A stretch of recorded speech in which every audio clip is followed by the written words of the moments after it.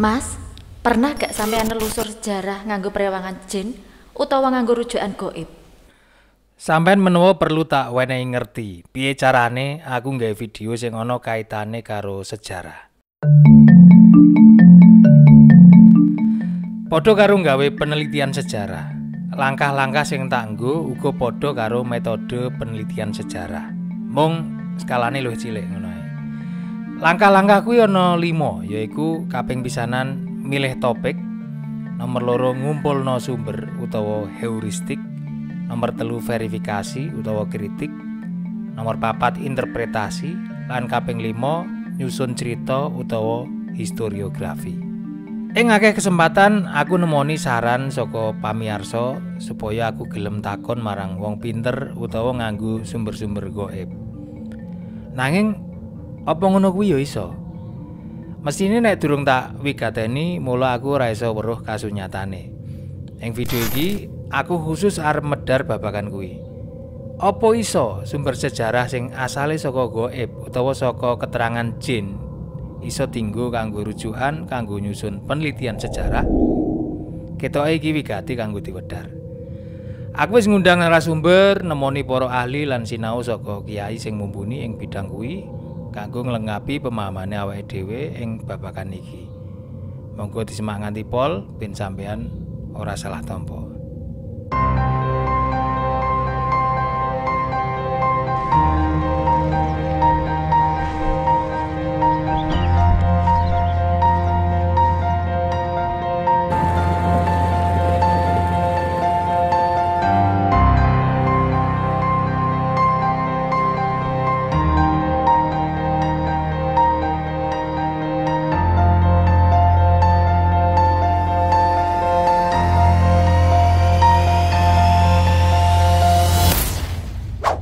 Apa iku sejarah? Sejarah kuwi asale saka tembung syajaratun.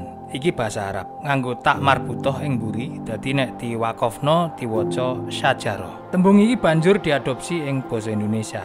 Dadi tembung sejarah. Syajarah kuwi artine wit. Wit kuwi duwe oyot, pok, batang, pang lan ranting. Dadi maksude saka wit iki awake dhewe iso ngerti sanat utawa asal usule awake dhewe. Kenapa iki penting disinaoni? Mergo sakliyane kanggo mangerteni identitas, saka sejarah awake dhewe iso sinau saka kedadian ing jaman kepungkur kanggo sangu ing jaman mengkone. Ing falsafah Jawa, awake dhewe kenal sing jenenge Triwikarma, biyen, saiki lan besok. Awake dhewe iki iso kaya ngene mergo apa sing dilakoni biyen. Lan kaya ngopo awake dhewe sesuk kuwi gumantung saka apa sing dilakoni saiki. Nanging ora kabeh kedadian ing jaman dhisik kuwi iso diarani kedadian utawa peristiwa sejarah. Kanggo iso diarani peristiwa sejarah, kedadian jaman kepungkur kuwi kudu duwe sifat unik, penting lan abadi. Dadi umpamane aku wingi bareng mlaku-mlaku ning Museum Demak. Kuwi ora iso diarani peristiwa sejarah, senajan ning panggonan sejarah. Kuwi mung sejarah uripku dhewe, dudu peristiwa sejarah. Beda karo umpamane Raden Patah ngedekno kerajaan Demak. Kuwi peristiwa sejarah, mergo kuwi unik utawa ora iso dibaleni maneh. Duwe pengaruh sing gedhe tumrape wong Jawa jaman biyen nganti saiki lan tetep dieling-eling wong akeh utawa abadi. Allahu Akbar.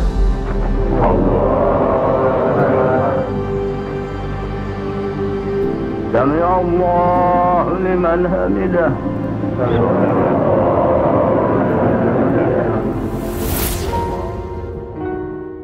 Saka akeh prastawa sejarah sing ana ning Jawa, kira-kira prastawa ndi sing bakal tak pilih? Kaping pisanan aku kudu iso milih topik. Ing langkah iki aku kudu mesthekake yen topik sing arep tak angkat iki duweni manfaat sing luwih gedhe timbang mudharate. Sawise aku oleh topik sing tak anggap duweni manfaat, mula sabanjure aku kudu mikir saka ngendi aku oleh sumber-sumber sing iso tak nggo rujukan. Proses ngumpulno sumber sejarah iki diarani heuristik. Banjur saka ngendi aku iso ngerti sejarah kuwi? Iki tak contoh sejarah Raden Patah lan Demak. Kaping pisanan ya saka sumber tulisan. Contone kayata sing tak olehi saka perpustakaan kantor Dokbud Bali. Iki aku oleh saka Kiai Ahmad Baso. Guruku. Kanggo iso maca tulisan kuwi, kadang awake dhewe butuh ilmu liyane, yaiku filologi. Mulane kanggo menehi data sing luwih jero, tak bela-belani aku melu kelas naskah Jawa sing diambu dening Kiai Ahmad Basu. Kita akan baca, bahannya sudah dicek di grup, ada bahan naskah Tuban.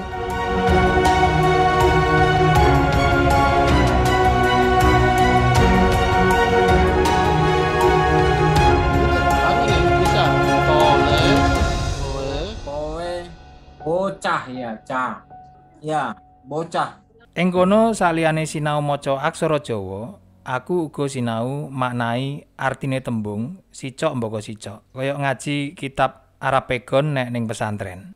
Sumber kaping pindho yaiku sumber barang utawa sumber benda, yaiku iso rupa artefak lan fosil. Kanggo mangerteni iki, awake dhewe butuh ilmu kayata stratigrafi, tipologi lan uga ilmu kimia. Contone, kanggo mangerteni umur kayu ning Masjid Demak, iso dilakoni nganggo carbon dating.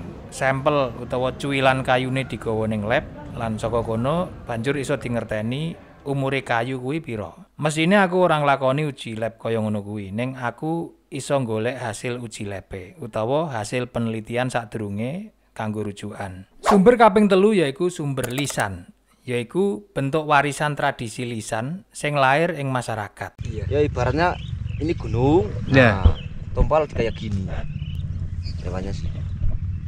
jat apa jatuh terusan meloncat ke desa tanah itu mungkin kayak di ngumpul lah. Nalika ana crita sing wis turun temurun, mula kadang iki iso dienggo lawang kanggo nyelidiki kasunyatan sing luwih jero, kanggo dalan mlebune. Dadi iki ora iso dienggo siji-sijine rujukan, isih perlu sumber liyane sing ana gandeng-gandenge karo babakan sing dibahas. Mula verifikasi lan interpretasi kuwi mengko dadi penting ing proses iki. Nah, nalika informasi sing diolehi akeh, mula awake dhewe kudu nganggo prioritas. Carane kanthi mangerteni sifate, sifat sumbere. Saka sifate, sumber sejarah kuwi ana telu yaiku sumber primer, sumber sekunder, lan sumber tersier. Sumber primer yaiku sumber sing asale saka sumber langsung ing jaman kedadian sejarah kuwi.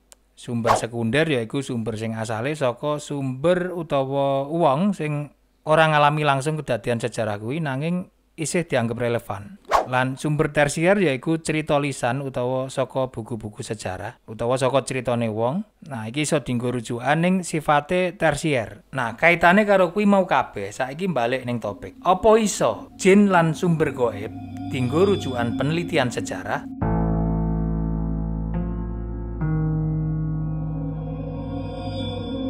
Tak wiwiti saka jin dhisik. Mergo jin kuwi termasuk gaib, dene gaib kuwi ora mung jin tok. Kanggo medhar iki aku nganggo keyakinan Islam, agama sing tak anut. Kanggo sing arep nambahi perspektif ing keyakinan liyane, monggo tulis wae ning komentar. Apa iku jin? Kanthi harfiah utawa kanthi tembung, jin kuwi iso dimaknai sing singitan utawa sing ndelik utawa sing ora ketok. Janana, janin, jana kuwi asal tembunge. Dadi cara definisi gampange, jin kuwi makhluk sing ora ketok. Ya, eh, jin itu makhluk yang tersembunyi. Kata Al-Quran, Innahum yarawnakum min haitsu la tarawnahum. Mereka lihat kamu, tapi kamu tidak bisa lihat mereka. Eh, jin adalah makhluk Allah yang serupa dengan manusia dalam banyak hal. Eh, ada lelaki, ada perempuan, mereka punya masyarakat, ada yang baik, ada yang buruk.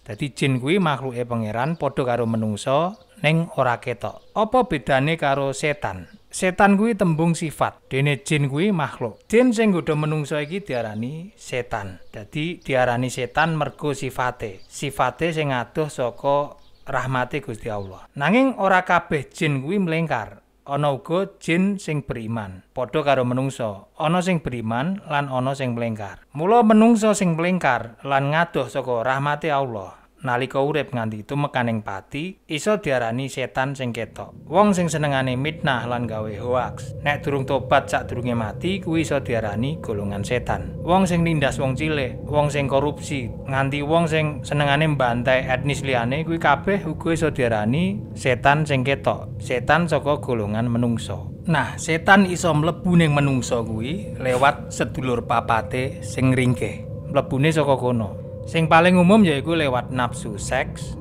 nafsu mangan, nafsu bondo donya, lan nafsu amarah utawa kuwasa.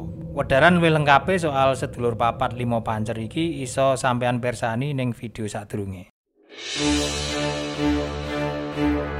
Nah, saiki apa menungso kuwi iso ndelok jin? Menungso ing umume, menungso awam ora iso ndelok wujude jin sing asli. Sing iso weruh jin ing wujud asline mung para nabi lan rasul. Menungso awam mung iso ndelok wujud jin saka imajinasine dhewe-dhewe. Merga jin iso membo-membo dadi wujud sing dikarepno menungso. Iso wujud kewan, wujud menungso liya sing mbok kenal utawa wujud sing ngegirisi kayata kuntilanak, gendruwo lan sak pinunggalane. Mula iku demit utawa hantu ing luar negeri lan ing Indonesia wujude uga beda. Merga imajinasi komunitas utawa imajinasi budaya siji lan liyane kuwi uga beda-beda. Ning kene ana pocongan, ning kono ana Dracula. Lan variasine ing saben-saben negara mesti uga akeh.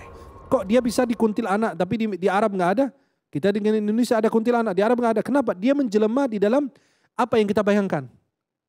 Ya, ya dia bentuknya begini, bentuknya begitu. Itu sebenarnya tidak ada. Semua itu jin sama. Tapi dia bertasyakul, kita bilang menjelma di dalam bentuk yang kita yakini atau yang kita fahami atau kita rasakan. Miturut swargi Mbah Yai Mukhtar Amin, jin kuwi uga iso ketok dadi wujud saka nafsune awake dhewe sing paling gedhe. Jadi nek sebatas tengkorak misalnya, kayak sebatas ulo misalnya, itu ndak apa-apa. Terus kayak kewan sing sangat lembut misalnya mbok mbok kayak nong awak gembrayah kayak kayak apa kayak semut dan sebagainya itu itu biasa. Itu nafsu kita sendiri sebenarnya.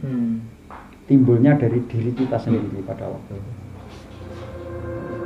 Banjur sing sering didelok wong-wong kuwi jin apa ora? Ya, kuwi jin ning dudu wujud asline. Apa menungso iso ngongkon jin? Kanggo sampean sing Islam mestine kenal Nabi Sulaiman. Jadi Nabi Sulaiman kuwi kan menungso. Nabi Sulaiman kuwi ora mung iso mirsani jin nanging uga iso ngongkon jin. Malah diriwayatno jin sing paling ampuh sing jenenge jin ibrit ae takluk karo Nabi Sulaiman. Dadi apa iso menungso ngendhalekno jin?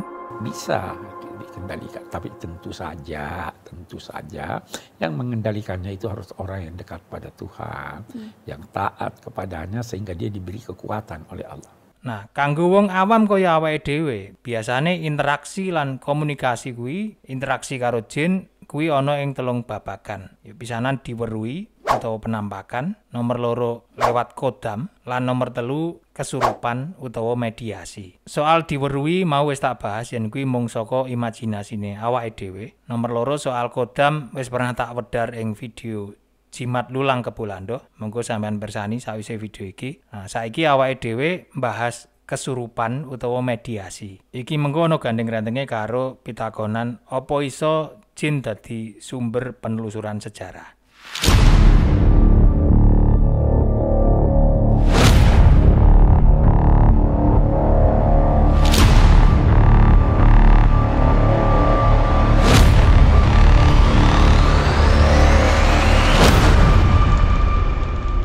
Kesurupan lan mediasi kuwi jano padha.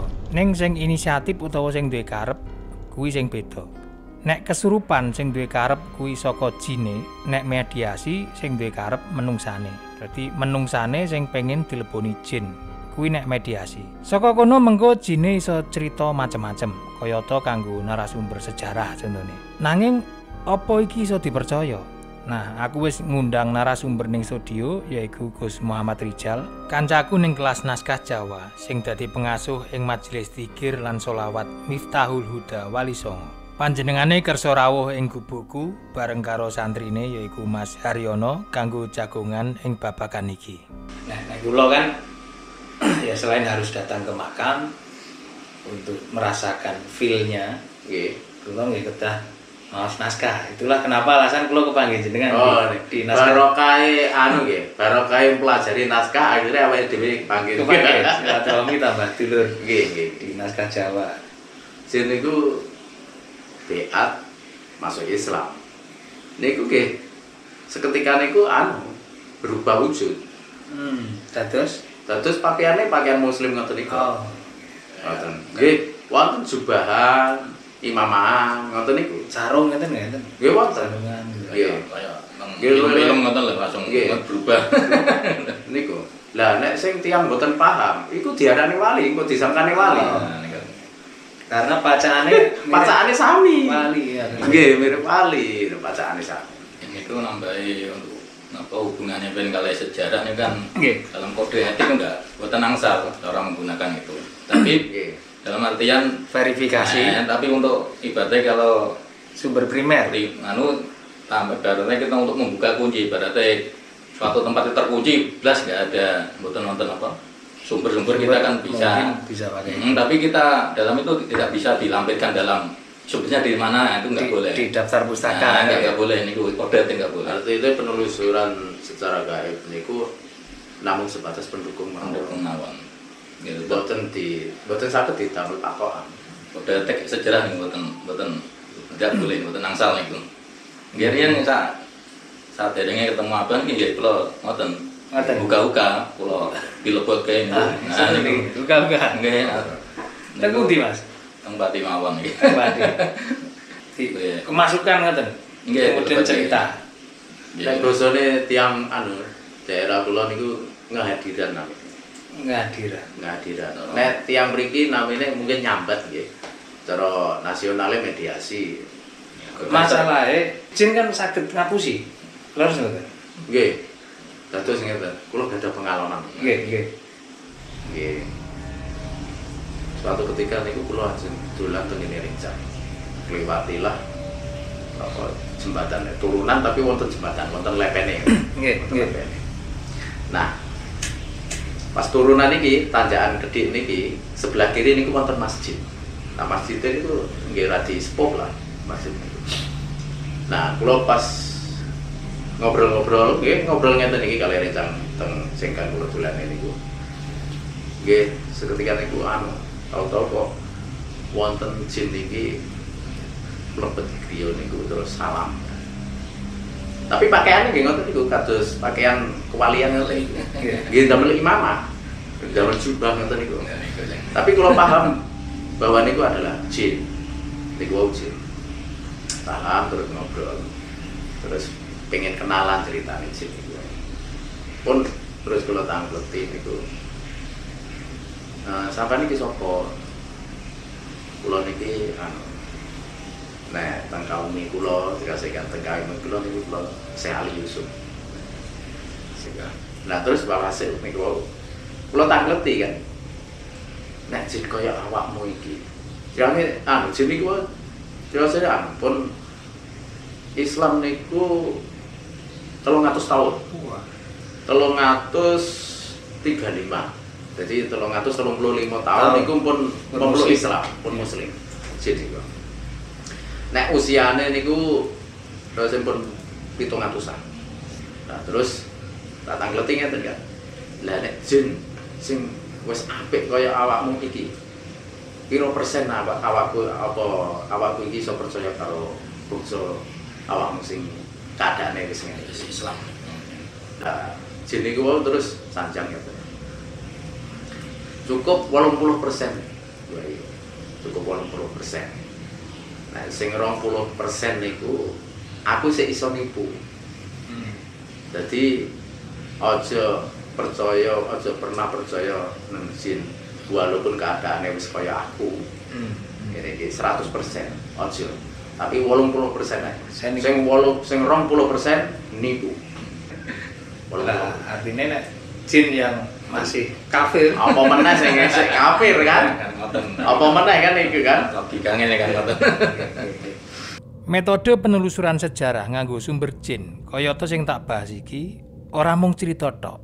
Rong taun sakwise perang Diponegoro, pernah ana sawijining naskah sing sumbere digawe saka wawancara karo jin. Kedadian iki ana ing laporan naskah Walanda sing diteliti dening Suwargi Kiai Agus Sunyoto, Ketua Lembaga Seni Budaya PBNU sing uga nulis buku Atlas Wali Songo. Ya, kita enaknya itu kalau meneliti tulisan Belanda itu begitu. Jadi ada laporan bagaimana proses itu terjadi.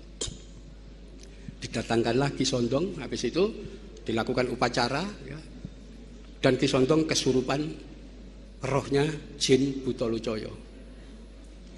Cerita semua ditulis. Inilah yang kemudian disebut babat kediri. Itu. Jadi cerita sejarah versi jin. Jelas bikinan Belanda ini. Di situ ya dijelek-jelekan namanya Sunan Bonang, Sunan Giri, dakwah Islam, semuanya jelek. Ya. Kenapa? Yang bikin Belanda kok. Pada dasarnya jin itu berdusta. Maka kalau kita merukyah orang, itu yang banyak ocehan-ocehan yang disampaikan orang yang kerasukan atau kesurupan, kami tidak boleh mempercayainya. Karena jin itu memang maunya memfitnah orang. Jadi ada yang muncul adalah suuzan dan itu maunya syaitan. Syaitan itu apa? Membuat permusuhan antara manusia. Tahun 1850-an ada seorang misionaris namanya Ki Tunggul Wulung. Dia membaca babat Kediri. Lalu mengambil cuplikan babat Kediri ya, sebagian kemudian dia susun menjadi sebuah tembang. Ya. Yang diambil ya yang menjelekkan Sunan Bonang, yang menjelekkan Islam, menjelekkan Sunan Giri itu ya. tembang yang diambil dari babat Kediri itulah yang diberi judul Serat Darmo Gandul. Ya. Jadi sumbernya dari Belanda tadi. Serat Darmo Gandul. Nanti ditulis lagi Suluk Gatulucu. Ya, gitu. Saka kene awake dhewe iso sinau soal verifikasi sejarah utawa kritik sumber nganggo studi kasus Serat Darmo Gandul lan Suluk Gatoloco.